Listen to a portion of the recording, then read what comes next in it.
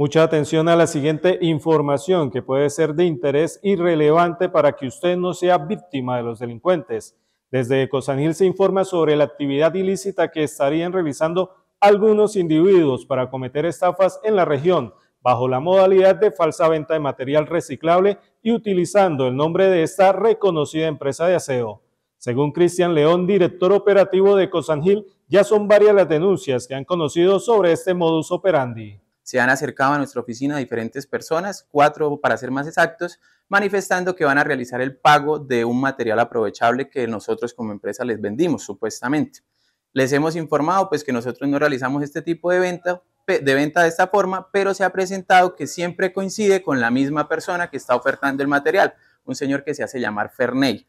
Esta venta la están realizando por supuestas páginas digitales donde ofrecen el material y pues obviamente piden el pago del material las personas, gracias a Dios, pues se han acercado a la oficina manifestando que vienen a hacer el pago directamente acá, pero entonces pues estamos aprovechando este espacio que ustedes nos brindan para dar a conocer lo que está sucediendo.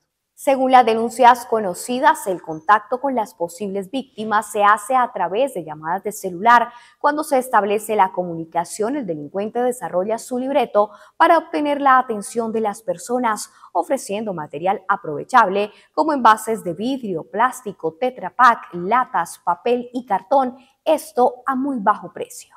Dos personas de las cuales han venido, una vino desde Cúcuta y la otra persona desde Villavicencio. Entonces, pues tenemos que ver también el gasto de transporte de estas personas, el hospedaje en el municipio y nos han manifestado que han venido desde estos puntos a hacer el pago directamente acá. Entonces, pues vemos con preocupación el gasto que se está presentando y, las mentiras que le están diciendo las personas. El primer caso que nos presentó, el señor nos envió el RUT y la Cámara de Comercio que esta persona, este suplantador, le había enviado nos pusimos a analizar el documento, efectivamente coincidía con el número de NIT, pero no coincidía con correos electrónicos y nombre del representante legal. Entonces han adulterado lo que es el RUT, la Cámara de Comercio, y esto se ha puesto en conocimiento. El primer caso de Policía Nacional y ya se instauró la denuncia legal ante Fiscalía.